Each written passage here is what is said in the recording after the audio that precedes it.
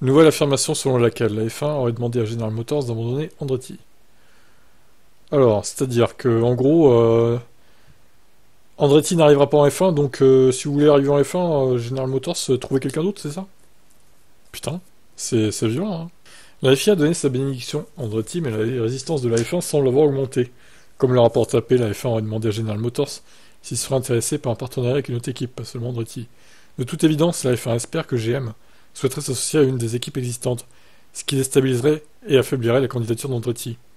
Sans le soutien de GM, la F1 pourrait potentiellement faire valoir qu'Andretti n'a pas les moyens d'être une onzième équipe et ne pourrait pas non plus augmenter la valeur du sport. Ok, bon. Après, bon, le reste, euh, voilà, c'est des trucs qui ont déjà été dit. Bon, honnêtement, c'est un peu abusé, quoi, s'ils n'arrivent pas en F1. Euh, je trouverais ça dommage, perso. Ils méritent au moins d'essayer 3-4 euh, saisons, voir ce qu'ils valent, quoi, clairement. c'est étonnant, c'est étonnant cette histoire à faire à suivre.